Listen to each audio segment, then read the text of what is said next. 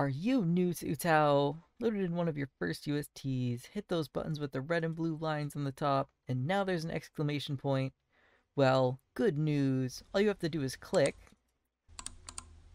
Okay, sometimes clicking it will fix it, but other times it won't.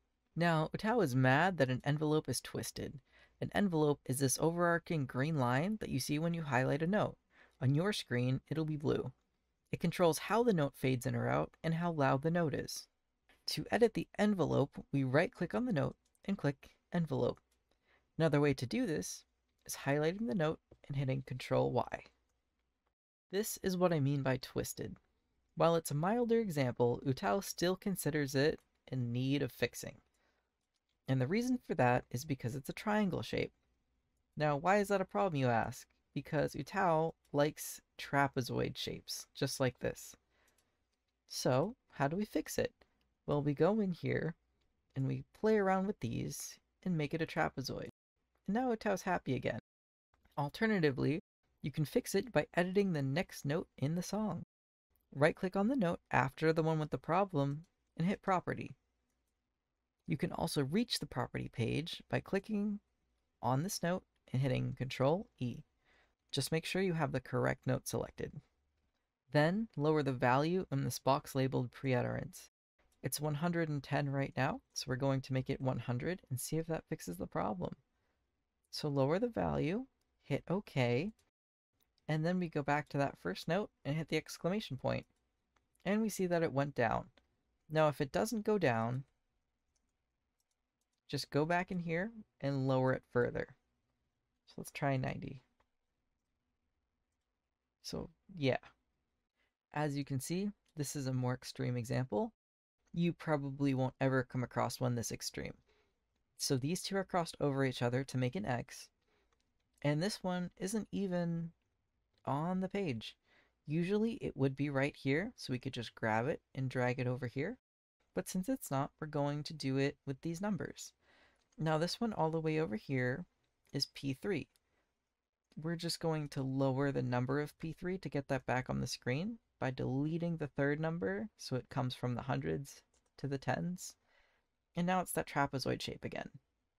I should add that you can still play notes even with the twisted envelope. Utau won't stop you. Sometimes I leave it twisted on some short CV notes because in my opinion it sounds better, but only very rarely. This is the difference between how it sounds twisted and untwisted. Let's do those two steps again, but quicker so you can get a feel for it.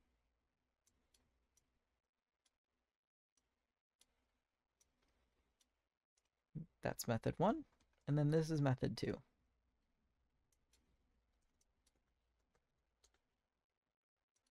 I personally prefer the second method. I feel like it's a bit cleaner and solves the, the original problem better, but that's how you fix it. Hooray, that's the end of the tutorial. Remember to check the description for any updates or corrections. And next, we're going to talk about how this happens and why. Remember, this all looks intimidating, but it's very simple. First, let's talk about what all this is, starting with these vertical lines. If you are brand new, then all you need to know is that this is where the consonant sound happens in CV and VCV voice banks. Right between these blue and green lines, sounds like k and s. This pink horizontal line represents loudness. It's the volume the Utau was recorded at. Now I'll show you three common reasons people will edit an envelope. Number one, softening the consonants. If your note has a very harsh consonant, then you can drag the dot further toward the green line, or if you want it almost non-existent, you can drag it beyond the green line. The further you drag, the quieter it is. Here's an example of softening a consonant. Here we have de. This is what it sounds like without editing. And then here, if we want to soften the consonant, since a very it's a very short one, we can drag it past that green line a little. And then if we want it even softer, we can drag it a little further, like this. See, compared to the first one, Number two, fading out the end of the note. One reason people do this is to mimic how a singer's voice naturally fades at the end of a line. This is most commonly used when the utau ends on a vowel, like how it ends on ah here. Let's do an example. This is how it sounds unedited. And then here, if we soften how it ends by dragging this end one in, this is how it'll sound. And then you can play around with how sharp or dull of an ending you want. Number three, increasing or decreasing volume. If you pull the second to last dot downwards like this, it will make the note become quieter as it goes on, and vice versa. So this is it becoming quieter. If we pull it this way, the note will become louder with time.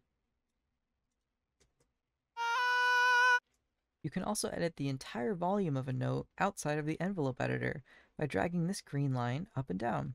On your screen, it'll be blue. The number here is the loudness of the note. 100 means 100% volume, 50 is half of its original volume, or 50%, and so on. This is how a note sounds over 100%. And then this is lower than 100. Fun fact, with some resamplers, if it's set to zero, you can still hear some audio. Like that.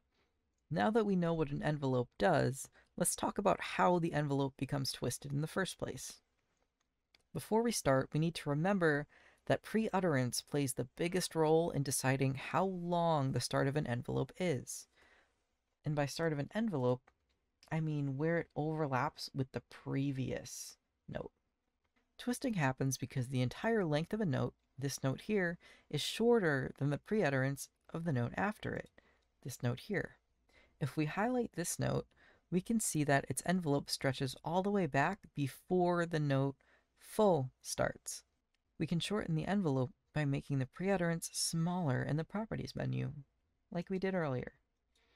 So we're going to change it from 100 to 10 to 100. Now the envelope of this note isn't stretching so far beyond the previous note that Utau has a problem with it. See, now it's fixed. Each note has a default pre-utterance. That means in the oto.ini file, there's already a set number of how far it will come out into the previous note. So see how in these two notes, it's not a problem because there's enough space for the entire pre-utterance to come out. Here's another way to visualize how this works. See this note we had the problem with before? Well, if we make it longer, now the pre-utterance of the second note has enough room in the first note that it doesn't extend beyond it. So there's enough room for both of them, and Utau no longer has a problem. This doesn't mean the default length of the pre-utterance is a bad thing. The envelope is how Utau blends notes together, Let's listen to what happens when a default preutterance is really short. So we're going to do that by making this preutterance really short. Let's make it maybe 20 and see how it sounds.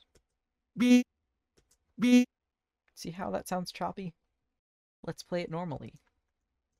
Beep, beep. Hear the difference? That's all for today. If I got anything wrong or there's something you want to add, feel free to add a comment.